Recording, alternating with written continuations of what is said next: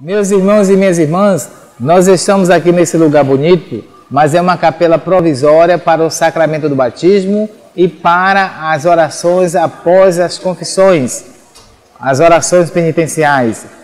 Aqui ao lado da fonte de São João Batista. É um sonho do santuário tornar isso realidade. Bater laje nesse, nesse espaço, nessa parte baixa do santuário, da esplanada, e fazer aqui a, a sala das confissões, os confessionários, a sala para o batismo, e isso depende também de você.